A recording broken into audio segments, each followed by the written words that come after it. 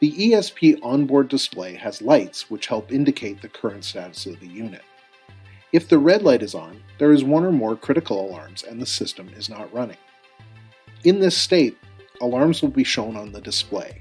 Use the up and down arrows to scroll through the alarms and refer to our literature for the alarm codes.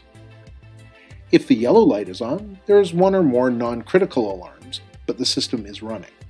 In this state, alarms will be shown on the display, and you can use the up and down arrows to scroll through the alarms. Refer to our literature for the alarm codes. If the green light is on, the compressor is running. If the green light is flashing, the compressor is waiting on the timer to start or stop. For more information and support materials, visit our ESP support page on the KeepRite website at k-rp.com slash ESP.